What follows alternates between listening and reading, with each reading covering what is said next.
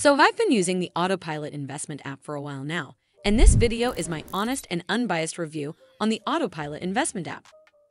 I'll cover all the main points, from key features to risks and considerations. So by the end of this video, you'll have a better understanding of the Autopilot investment app. The app is designed to simplify investing, particularly for those who might not have the time to dive deep into the stock market. What sets this app apart is its unique approach to automated investing by allowing you to copy the trades of well-known investors. You can link your brokerage account to the app and essentially mirror the portfolio moves of figures like Warren Buffett or Michael Burry. It's an intriguing concept, especially for anyone who finds the idea of picking stocks on their own a bit daunting. One of the standout features is the app's user-friendly interface. Setting up your account is simple and straightforward, and you can start investing with just a few taps. This convenience is one of the biggest selling points. The app's algorithms do all the heavy lifting, from analyzing market data to making decisions designed to minimize risk.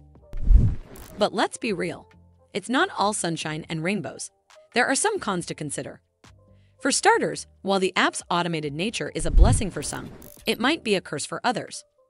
If you're someone who enjoys being hands-on with your investments, you might find the lack of control frustrating. You're essentially handing over the control to an algorithm, which could be a bit unsettling if you're used to making your own financial decisions. Another potential downside is that the app doesn't support limit orders. This could be a deal breaker for those who prefer more nuanced control over their trades. Limit orders allow you to specify the price at which you want to buy or sell, offering a layer of protection against market volatility. Without this feature, you're fully at the mercy of the app's decision-making process, which could be a bit risky in a rapidly changing market. A feature worth mentioning is the app's transparent fee structure. Unlike some investment platforms that hit you with hidden fees, Autopilot is pretty upfront about what you'll be paying. This transparency allows you to make more informed decisions about where and how to invest your money. The fees are flat, which could be advantageous if you're looking for predictability in your costs. Transparency doesn't end with fees. The app also allows you to see the holdings of the investors you're copying. This feature is particularly useful if you want to dig into the strategies behind the decisions being made on your behalf. It's not just a black box where your money goes in and hopefully comes out multiplied. You can actually see and understand the moves being made. When it comes to legitimacy, the Autopilot investment app does seem to be legit. It's regulated and has robust security measures in place to protect your funds and personal information.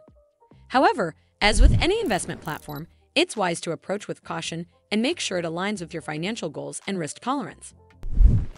While the app has garnered some positive reviews for its ease of use and innovative approach, some users have raised concerns about the lack of personalized customer support, which can be a drawback if you run into issues.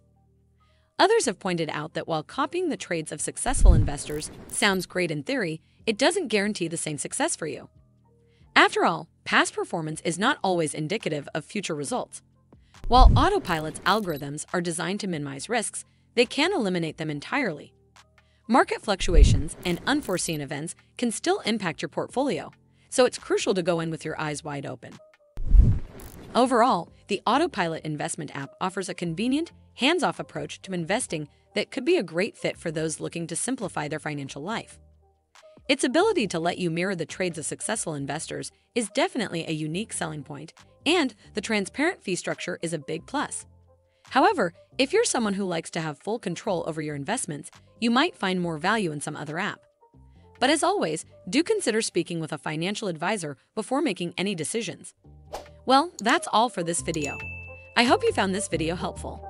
And if you did, make sure you give this video a super thanks by clicking on this heart icon to help support the channel, and don't forget to hit that subscribe button.